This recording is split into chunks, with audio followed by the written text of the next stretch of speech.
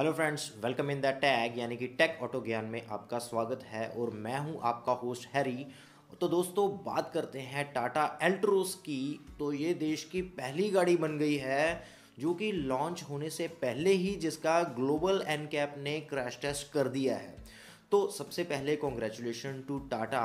उसकी वजह है, ये उनकी दूसरी ऐसी गाड़ी है जिससे फाइव स्टार रेटिंग मिली है और ये कंट्री की भी ऐसी दूसरी गाड़ी है जिसे फाइव स्टार रेटिंग मिली है। पहली फाइव स्टार रेटिंग मिली थी टाटा की ही नेक्सॉन को। अब एल्ट्रोज को।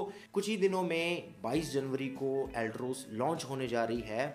तो मैं बात करूँगा इसकी थोड़ी सी सेफ्टी के बारे में और थोड़ा सा कंपैरिजन तो बनता ही है यार।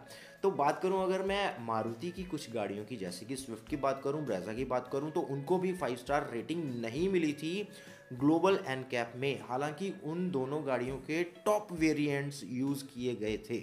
लेकिन यहाँ पे एल्ट्रोस का बेस वेरिएंट ही यूज़ किया गया है, लेकिन फिर भी यहाँ पे फाइव स्टार रेटिंग मिली है, जो कि बनती भी है टाटा इससे डिज़र्व करता है। हालाँकि अब इस टाइम पे बेस वेरिएंट में ही काफ़ी फीचर्स आने लगे हैं। तो मैं एल्ट्रोस की ही बात करूँ तो यहाँ पे आपको डुअल एयरबैग्स मिल जाते हैं एबीएस मिलता है ईबीडी मिलता है स्पीड कंट्रोल, आपको स्पीड वार्निंग भी यहाँ पे मिल जाती है।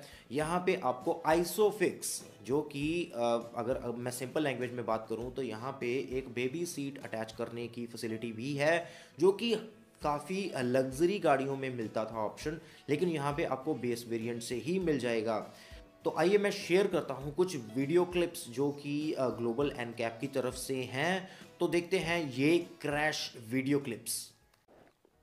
जी हाँ दोस्तों, जो ग्लोबल एन कैप रेटिंग है, उसके अकॉर्डिंगली हम देखें तो यहाँ पे एल्ट्रोस को अगर अडल्ट सेफ्टी के अकॉर्डिंगली देखें तो ये टेस्ट किया गया था 64 किलोमीटर पर आर की स्पीड पे और आउट ऑफ़ 17 यहाँ पे 16.13 जो रेटिंग है, जो मार्क्स है, वो मिले हैं, जिसके अकॉर्डिंगली ये रेटिंग फाइव स्टार बनती है।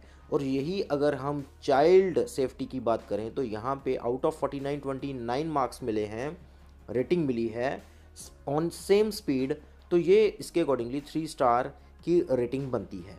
तो इसके बारे में मैं आपको बताऊँगा कि ये रेटिंग थ्री स्टार क्यों रही है। तो ये कुछ वीडियोस हैं क्लिप्स हैं, जो आपको, ये फ्रंट क्लिप है, जो कि फ्रंट स्ट्राइक के बारे में आपको बता रहा है।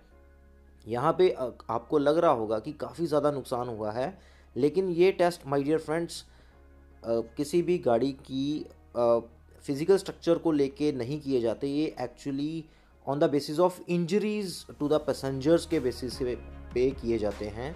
तो यहाँ पे जो अडल्ट सेफ्टी है, यहाँ पे एल्ट्रोस को मिलते हैं फाइव स्टार ये देख सकते हैं आप साइड इम्पैक्ट भी टाटा माना जाता है अपने शेल की वजह से, अपनी स्ट्रॉन्ग बिल्ड क्वालिटी की वजह से। यहाँ पे भी जो बी पिलर है, काफ़ी स्ट्रॉन्ग है और काफ़ी अच्छी प्रोटेक्शन प्रोवाइड कर रहा है। लेकिन जो थ्री स्टार रेटिंग हुई, जो कि चाइल्ड सेफ्टी के बारे में, उसके बारे में मैं आपसे थोड़ी सी डिटेल में बात करूँगा। जी हाँ दोस्तों तो आपने इन वीडियो क्लिप्स में देखा कि कैसे एल्ट्रोस को क्रैश टेस्ट किया जा रहा है। तो यहाँ पे मैं आपको दो सिंपल से पॉइंट्स बता देता हूँ। जो फाइव स्टार रेटिंग मिली है, वो तो बढ़िया है। लेकिन थ्री स्टार रेटिंग की यहाँ पे किसी ने भी बात नहीं करी है, क्योंकि चाइल्ड सेफ्टी के बारे में यहाँ पे बताया गया है। तो मैं आपको बता दूँ कि यहाँ पे जब आइसोफिक्स में सी आर एस यानी कि चाइल्ड रिस्ट्रेन सिस्टम या आप इसको बेबी सीट भी कह सकते हो, जब अटैच किया गया तो यहाँ पे जो, जब थ्री ईयर का एक जो बेबी डमी था रखा गया, यहाँ पे रखा गया, उसको बिठाया गया तो वहाँ पे क्रैश के दौरान जो गाड़ी के इंटीरियर्स थे, जो डैशबोर्ड थे, वहाँ पे उसका हेड स्ट्राइक किया, जिस वजह से यहाँ पे गाड़ी को थ्री स्टार रैंकिंग मिली है। नहीं तो ये बेबी सेफ्टी के बारे में भी मेरे ख्याल से फाइव स्टार नहीं तो फोर स्टार तो इसकी बनती ही थी। तो ये कुछ छोटे छोटे क्लॉज कई बार रह जाते हैं, लेकिन यहाँ पे हम ये नहीं कह सकते कि बेबी सेफ्टी के बारे में के रिगार्डिंग ये गाड़ी थ्री स्टार है तो ज़्यादा बेहतर नहीं है, ऐसा बिल्कुल भी नहीं है। गाड़ी आप इसको फाइव स्टार रेटिंग मान के ही चल सकते हैं।